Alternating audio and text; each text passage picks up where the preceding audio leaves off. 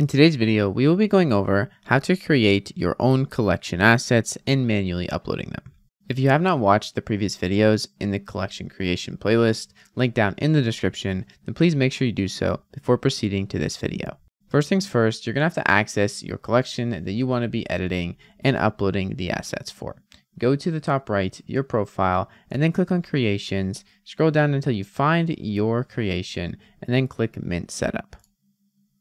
You will be prompted to sign a transaction here, so just sign this to get access to your collection dashboard. After you're here, scroll down to the Mint Setup and click on Asset Creation.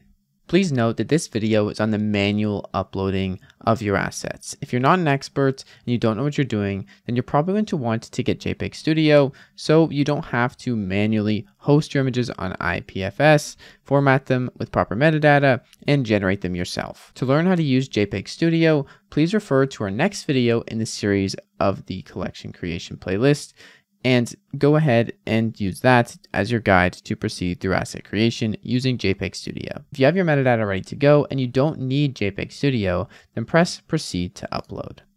After this, you're gonna have to upload your JSON and the images inside the JSON must be already uploaded to IPFS. After uploading your JSON file, if everything went correctly, you should be able to scroll down to the bottom and click save.